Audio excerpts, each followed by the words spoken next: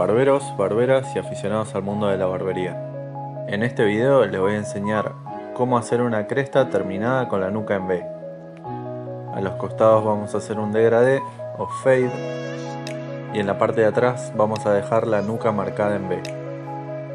Luego en la parte superior vamos a trabajar un texturizado al estilo French crop con flequillo recto. Como pueden ver, empiezo con la cuchilla Bolding o 6 ceros en la parte baja del fade.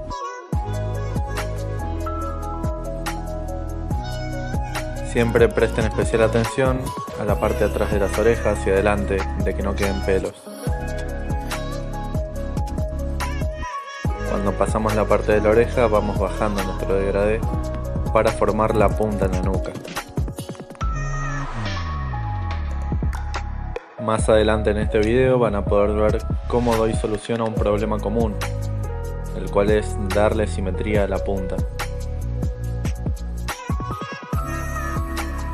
Asegúrense de que el rapado en la zona baja siempre quede bien limpio, así después no tienen que volver a repasar sobre los pasos anteriores que hicieron.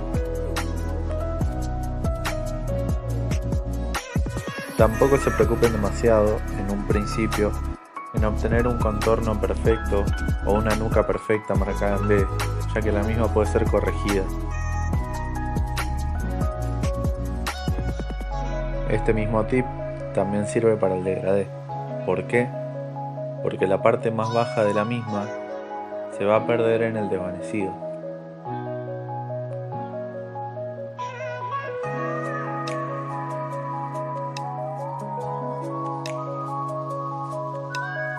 Como pueden ver, yo ya tengo preparada mi línea guía. Ahora voy a perfeccionarla. ¿Y cómo hago esto? Pidiéndole al cliente que agache la cabeza y tomando como referencia la punta de la columna.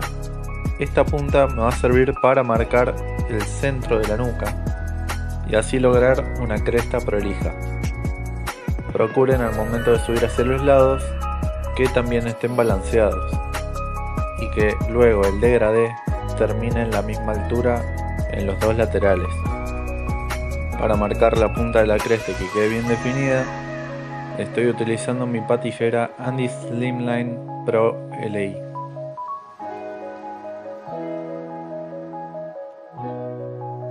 Nuevamente después de marcar, giramos la patillera y limpiamos nuestra zona de trabajo hasta la nueva línea creada.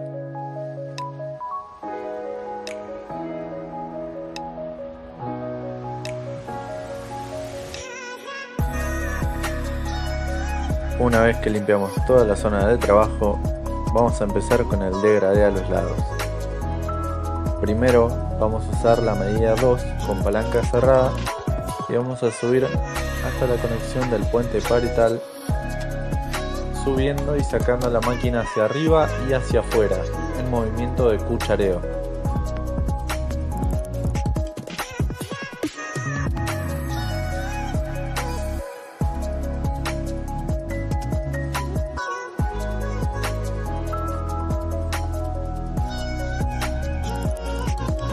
Mi recomendación para que el degradé les quede prolijo es siempre seguir con cada medida la misma forma de la primera guía inicial que crearon. Vamos a trabajar con la máquina sin alza y la palanca abajo, creando una guía de un centímetro por sobre la línea. Después la vamos a cerrar a un cuarto a la mitad y vamos a repasar hasta la mitad de la zona que limpiamos, para después cerrarla del todo y repasar la línea más baja.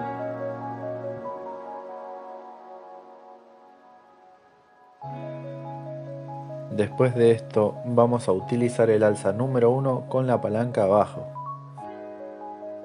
O sea que vamos a estar usando la 1 y medio y vamos a subir un centímetro más arriba nuestro degradé.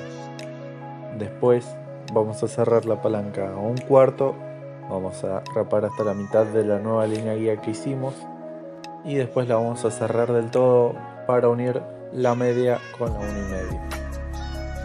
Recuerden no subir de más y que cada medida utilizada tiene que preservar su zona, ya que si la superamos con una medida más corta nos va a generar una diferencia grande de medidas y se van a formar líneas. ¿Por qué se forman las líneas? Por diferencias grandes de medidas. Si yo hiciese una zona rapada con la 1 y otra con la 2 más arriba, se va a ver una línea muy evidente. Y para borrar esa línea yo tendría que trabajar, por ejemplo, con la medida 1,5. Esto aplica para cualquier medida. Siempre estén atentos a las medidas que van utilizando y en dónde la están utilizando.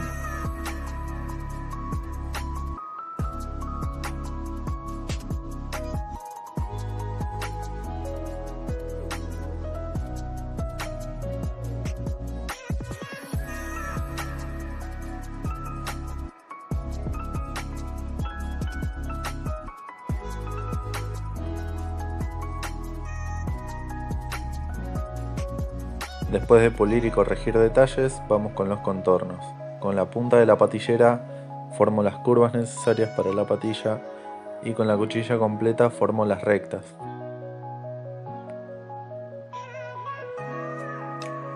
En esta parte me quedé sin batería, tuve que cargar un rato la cámara, así que paso directamente al resultado. El corte ya está corregido, en la parte superior tiene hecha un French crop y el otro lado también está hecho el degradé.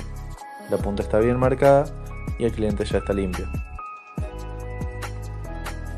Si quieren aprender a hacer un French crop, les voy a dejar el enlace acá mismo. Si este video les gustó, suscríbanse al canal, den me gusta, activen la campanita de notificaciones para enterarse de cada vez que saco un nuevo video y déjenme en los comentarios cuál es el próximo corte que les gustaría ver o cuál es la próxima técnica que les gustaría aprender. Para terminar, les voy a dejar algunas fotos de este corte finalizado.